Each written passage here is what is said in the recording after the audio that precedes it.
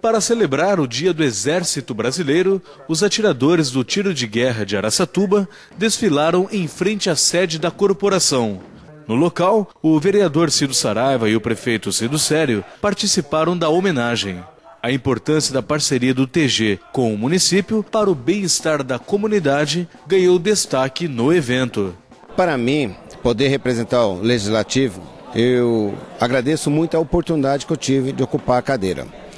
E eu acho que é um, uma data muito marcante, principalmente para mim também, porque eu não tive a oportunidade de servir. E eu acho que eu, o, o, Exército representa tudo, é defender a nossa nação, é defender nosso país, nosso Estado, a contribuição que o Exército dá no nosso município, eu acho que isso faz parte. Então a gente tem que muito prestigiar e sempre agradecer eles pelo trabalho que ele presta ao nosso município. A nossa parceria cada ano ela é renovada, ela é melhorada.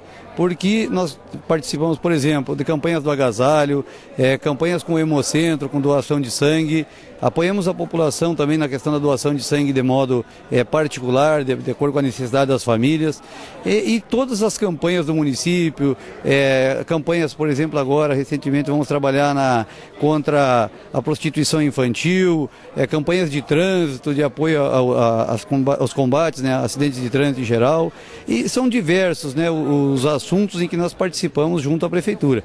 O, o tiro de guerra ele funciona é fruto de um termo de convênio firmado entre o Exército e a prefeitura e esse termo então nos possibilita essa troca mútua de apoio, né? Tanto o Exército com a parte do trabalho quanto a, a prefeitura que com a parte da manutenção das instalações de funcionamento administrativo do tiro de guerra.